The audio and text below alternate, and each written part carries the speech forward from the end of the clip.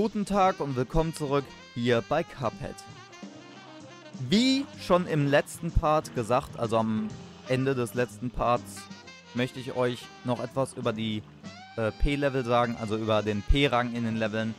Man kann den P-Rang auch erreichen, wenn man sich treffen lässt. Das hatte ich ja mal falsch gesagt. Einfach nur, weil äh, ich es noch falsch in äh, Erinnerung hatte. Es kommt noch aus der Zeit, wo ich mich mit einem Kumpel darüber unterhalten habe, über das Game. Und wir nicht so viel darüber wussten. Das war, boah, keine Ahnung, vor fünf Jahren oder so. Wann, wann ist das Spiel rausgekommen? 2016? Ja, es, ist, war, es war auf jeden Fall... Ähm, es ist auf jeden Fall noch aus der Zeit, wo wir noch nicht so viel oder wo ich noch nicht so viel über das Spiel wusste.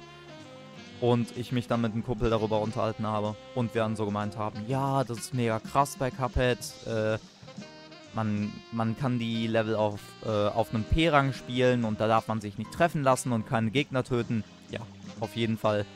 Doch, man darf sich treffen lassen. Man darf nur keine Gegner killen. Das ist das Einzigste, was verboten ist. Äh, einzigste, genau. Das einzige. Boah, nein. Als ob ich mir das jetzt auch schon angewöhnt habe. Äh, egal. Let's go. Ricky Rapier.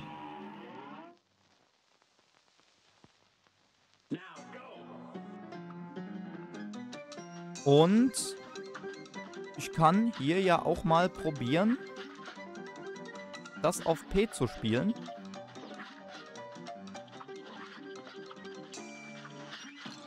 Ah, obwohl, nee. Das, ich glaube, das wird nix. Ist mir gerade eingefallen oder aufgefallen, als ich die Münze gesehen habe. Am Anfang sollte man den Level immer noch normal spielen. Scheiße, den hätte ich gern geparried, den Fisch. Und dann kann man im zweiten Durchlauf das Ganze auf den P-Rang spielen. Aber fürs erste Mal sollte man auf jeden Fall das Ganze hier ganz normal machen. Na, komm schon. Okay, schön. Haut ab, ihr Scheißfische. Will den Typen da besiegen. Was ist das eigentlich? So ein so ein Meeresvieh. Irgendwie so eine Koralle oder so. Kann gut sein, ne? Kann echt gut sein. Okay, schön. Wenn wir die Ulti haben, sollten wir echt gut durch den Level durchkommen. Nur dafür müsste ich vielleicht... Ah, guck mal. Perfekt müsste ich vielleicht nochmal einen pinken Fisch kriegen. Damit wir die Ulti auch aktivieren können. Der muss sich verpissen. Nein. Ah, Mann, ey. Das war jetzt dumm. Da muss man einfach ganz normal draufspringen. Auf die Podeste.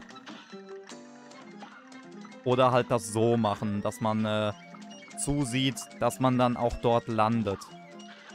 Wenn man ausweicht. Hau ab, hau ab, hau ab. Sehr schön. Let's go, Ulti. Oh. Was? Man kann ihn so easy besiegen? Ich dachte, das wäre ein bisschen schwerer, aber anscheinend sieht man, dass es easy ist. Oh, was ist hier denn jetzt los? Weg damit. Aua. Okay. Wunderschön. Okay, ich glaube, wir wechseln tatsächlich mal zur Kartätsche. Ja, Mann. Perfekt. Was? Warum? Scheiße. Ich hätte den Level fast geschafft. Nein. Ja, Pech gehabt. Mm, und da jetzt auch mit dem pinken Fisch.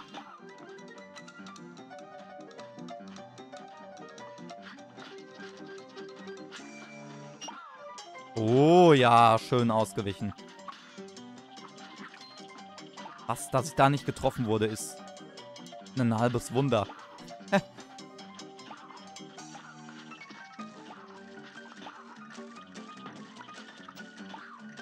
Nochmal ein pinker Fisch zum Parryen. Ah, dann halt nicht. Ah, guck mal. Doch. Kommen die Fische hier auch noch? Ah, yo. Die kommen ja auch noch. Okay. Ich dachte, die würden hier nicht mehr kommen. Na, dann ist ja alles gut. Ey, da war ein pinker Fisch. Da war ein pinker Fisch. Warum ist der despawned? Ah. Okay, schön. Ja, schade, dass ich da jetzt den Typen nicht früh genug habe besiegen können. Hopp. Oh, ja, Mann. Ganz, ganz wichtig. Münze her.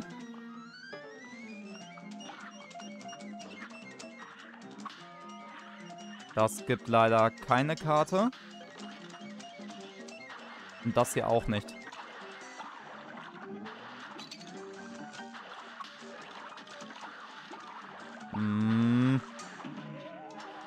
Ja, ich wollte unbedingt nochmal so eine, äh, so einen pinken Gegenstand treffen, um noch eine Karte zu bekommen. Aber das ist, während man da so hart in die Mangel genommen wird, echt schwierig. Auch sehr ungünstig, dass ich da jetzt den pinken Fisch besiegt habe. Ja, komm. Noch einer, wunderbar. Noch mehr? Pink, pink, pink. Hallo? Jawoll. Drei Karten, ich weiß nicht, ob das reicht. Ich hätte ganz gern noch einen. Einen hätte ich ganz gerne noch. Ja, guck mal. Sehr schön. Boah, Alter. Boah, Alter. Boah, Dodge Master 3000 hier. Am Start. Holy shit. Ah, guck mal. Schön. Den hätte ich fast besiegt. Und äh, am besten auch nicht von Krebs zu Krebs springen. Sondern hier am Boden laufen. Uh. Wie close das die ganze Zeit ist. Haut doch alle ab. Mann.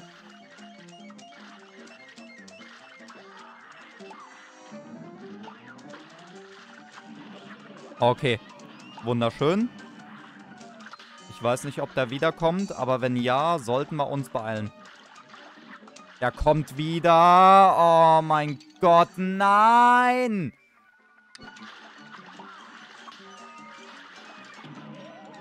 Das kann es nicht sein.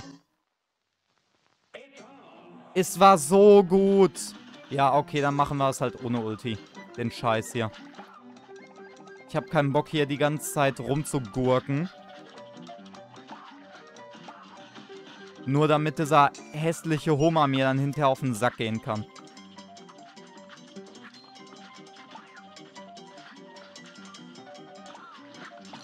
Scheiße. Ah!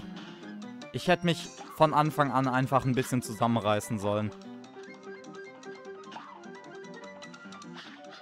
Und es normal probieren sollen, ohne die Ulti.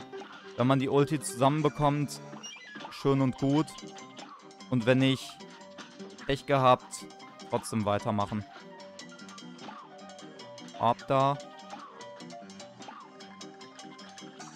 Okay. Schön. Nein, hau doch ab.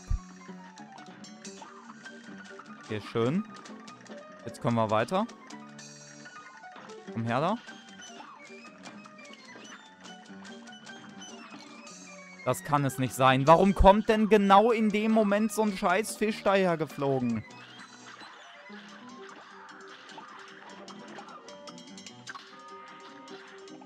Hau ab. Mach dich weg. Alter, ne? Okay, schön.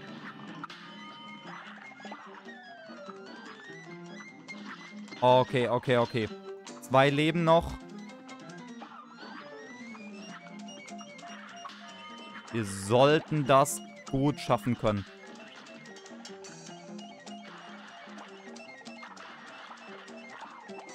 Oh, und wichtig zu erwähnen ist auch... Ach man, nein, bitte nicht. Auch, dass man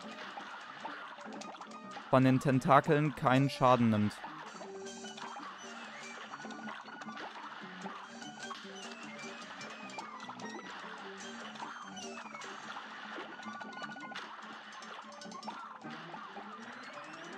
Raus hier. Alter. So ein Scheiß. Koffers voll? Wie jetzt?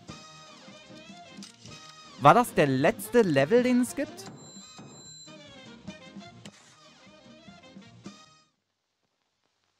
Anscheinend, oder? Das war der letzte Gun-and-Run-Level. Und wenn ich den auf Pacifist schaffe, dann sind alle abgeschlossen. Okay, interessant. Gut, dann lasst uns mal in Schwarzes Laden gehen.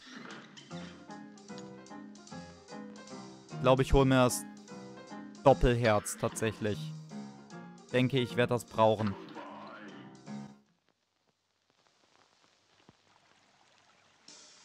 Dann kann ich das nämlich noch ganz gechillt auf Pacifist spielen. Gut, wo geht's weiter? Ach, hier oben, ne? Ja. Boah, ey. Carla Maria in Rauesee.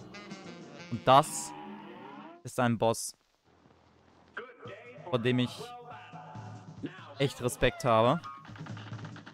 Weil sie auch sehr unfair sein kann. Warum genau? Werdet ihr später sehen. Ah! Erstmal kann sie einen hochdrücken.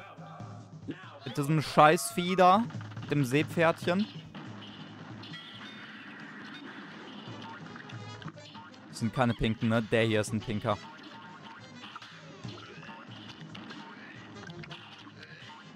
Äh, Alter. Da finde ich die Phase sogar noch angenehmer, als da mit dem scheiß Seepferdchen, was einen nach oben drückt. Au. Alter. Was zum Teufel geht hier ab?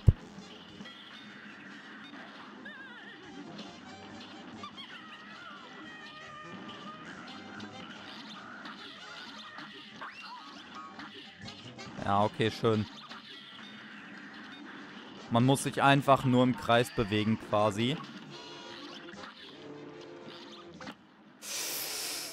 Oder hatte ich da eben... War ich da... Alter, was? Erst die Hälfte geschafft. War ich da eben unlucky mit den Minen? Mit den Seeminen? Dass die da einfach zusammen mit den Geistern gekommen sind? Ja, ich glaube schon. Ich glaube schon. Hm, ja, man muss hier ein bisschen Glück haben, dass man die richtigen Ereignisse erwischt.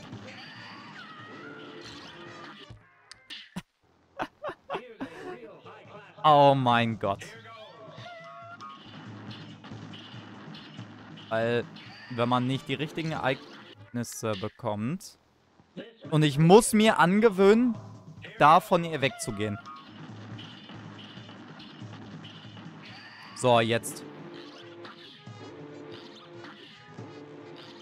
Schön. Da aufs Ausweichen konzentrieren.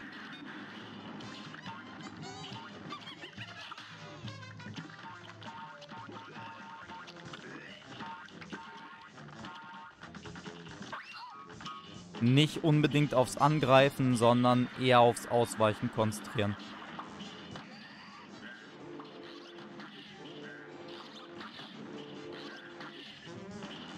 Alter. Okay. Das habe ich tatsächlich echt gut gemacht. Was kommt jetzt? Das. Das kann man ziemlich gut dodgen. Wenn man es richtig anstellt und das richtige Timing erwischt. Nein, ich wollte, nein, ich wollte doch parryen und dann mit der Bombe angreifen. Scheiße, Mann. Hau ab.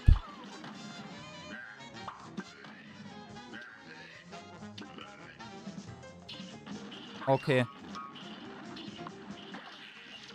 War es das jetzt mal so langsam? Ja, Mann. Nächste Phase. Und das ist genau das, wo sie unfair sein kann.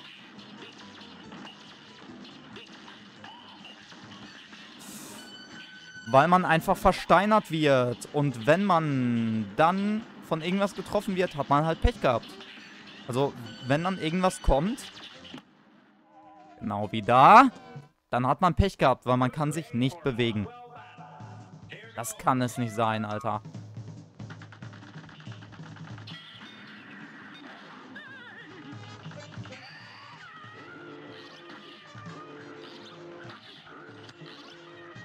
Boah. Man muss echt hart dagegen steuern. Ich weiß gar nicht, lohnt es sich, die Viecher da unten anzugreifen? Eher nicht, ne? Eher nicht. Einfach ausweichen und gut ist.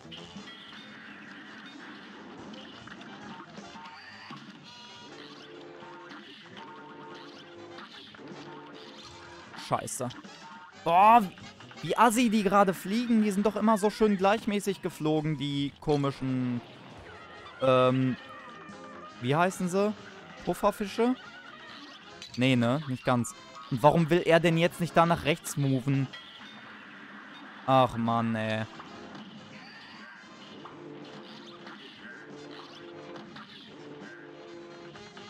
Okay. Sehr schön.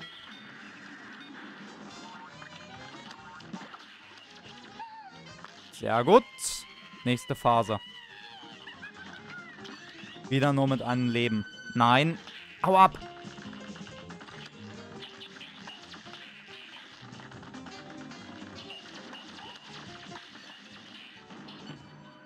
Ja.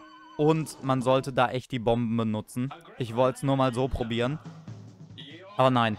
Das wird nichts. Man muss die Bomben benutzen, sonst kommen da einfach zu viele äh, elektrische Aale.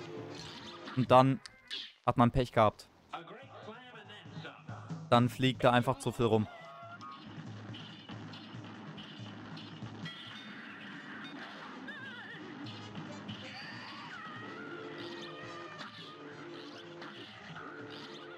Okay, schön.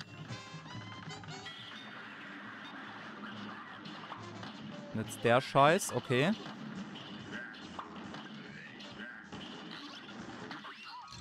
Nein, als ob mich dann dieser Kackfisch erwischt.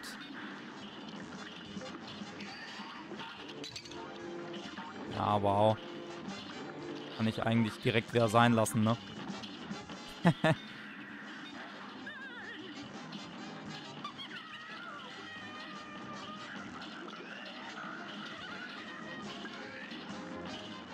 mm, ja.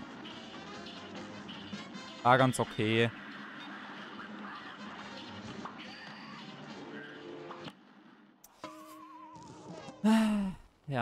Aber war klar, dass ich schon wieder nicht schaffe. Boah, dieser Boss, ne? Dieser Boss ist so asozial. Weil er vor allem auch... Er ist halt einfach unfair. Er ist inkonsistent. Weil er immer zwei Phasen auf einmal hat. Zwei Aktionen auf einmal hat. Manche sind gut zu dodgen, manche halt nicht. Da kann einem zum Beispiel das Seepferdchen keinen Damage machen, aber es drückt einen halt nach oben. Was zusammen mit der Phase gerade ganz gut war. Ah, Alter. Aber das ist zusammen echt kacke. Da finde ich die Mine sogar noch angenehmer.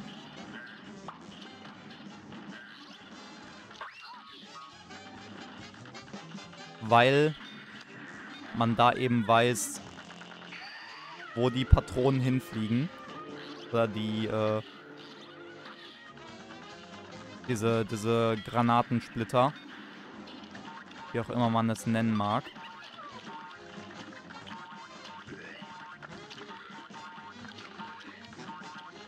Okay, schön.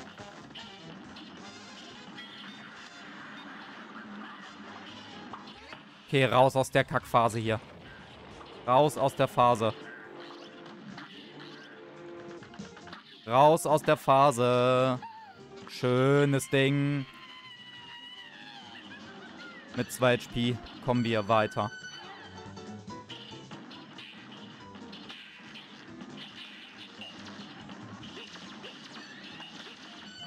Nein, als ob. Wie viele da jetzt sind.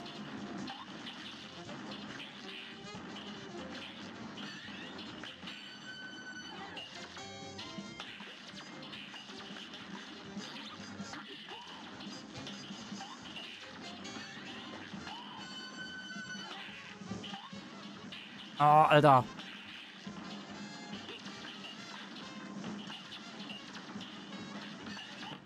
Scheiße.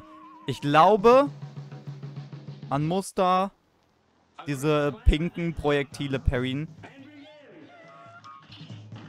um direkt in die nächste Phase zu kommen. Weil die letzte Phase ist zwar auch assi, aber die geht wenigstens noch einigermaßen. Und da wollte er mich jetzt nicht den... Äh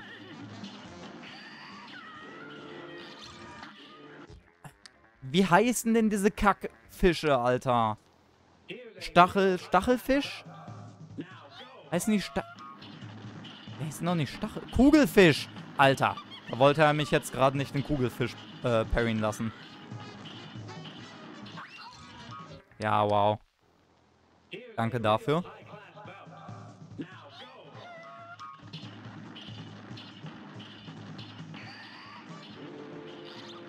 Ja.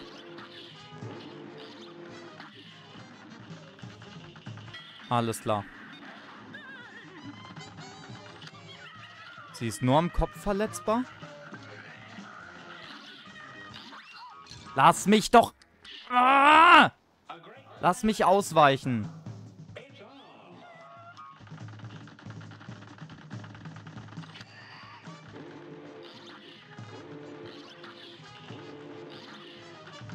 Alter.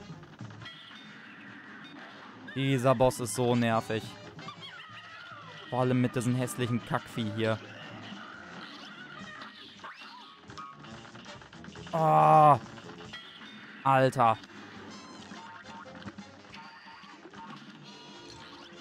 Ja. Kommen natürlich die Kameraden schon wieder. Zusammen mit den Kugelfischen ist das Assi.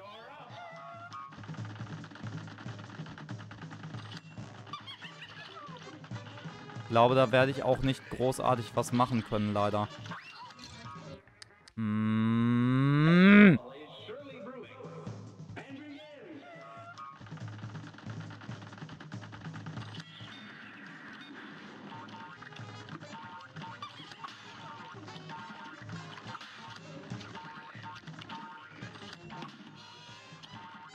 So langsam habe ich auch keinen Bock mehr tatsächlich.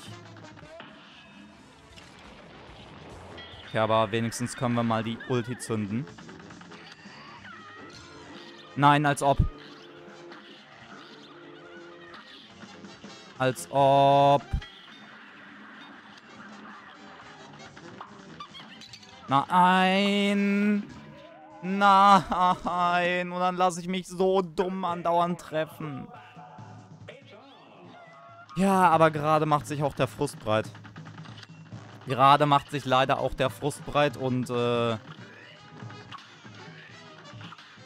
habe tatsächlich gar nicht mehr so richtig Bock. Wir kommen. Zack, Ulti reingeballert. Scheiße. Aber ist das noch easy zu dodgen? Da war ich jetzt aber nicht drauf vorbereitet.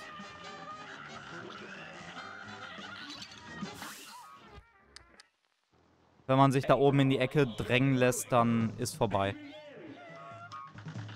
Scheiß Seepferdchen da, Alter. Dass man noch nicht mal ein bisschen runter moven kann.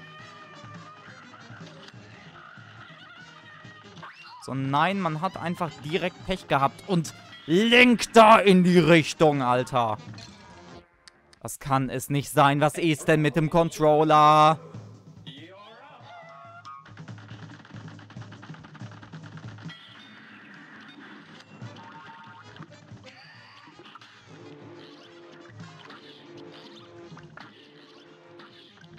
Ja, schön.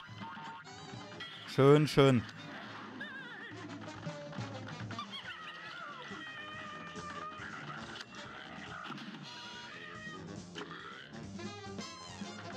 Okay, geil. Ult, ult, ult. Rein damit.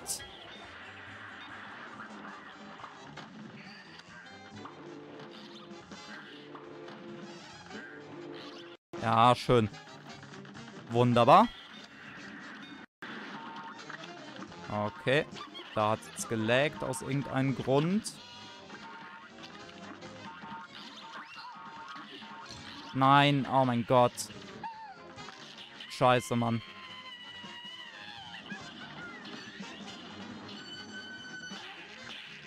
Lass mich moven. Und Ult rein.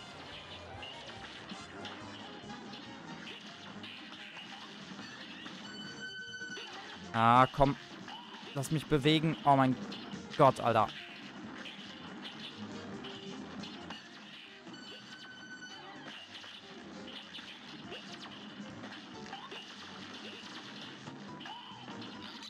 Nein. Nein. Hau ab. Ah, lass mich doch.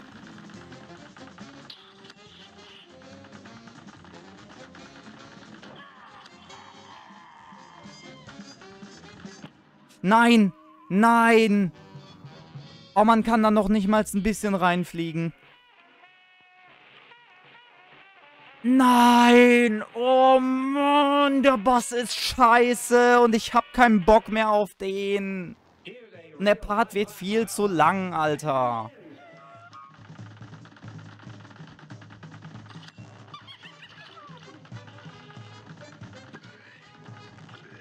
Okay, Leute. Dann sage ich euch jetzt was.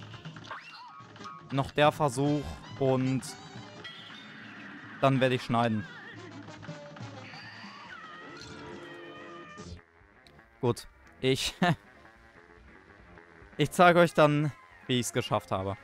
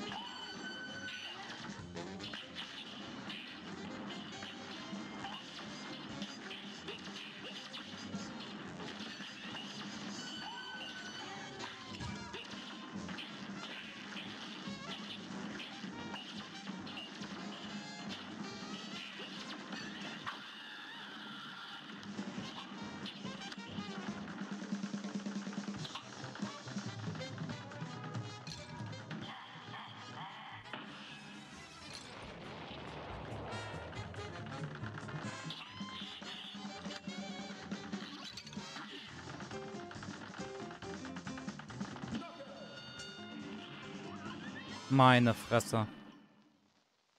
Hier lohnt sich das Doppelherz extrem.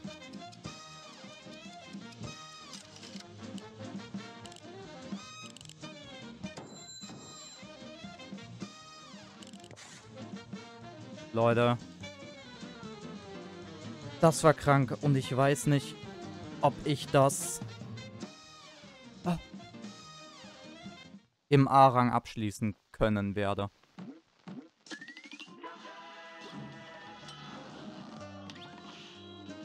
Meine Fresse. Carla Maria, Seelenvertrag erhalten.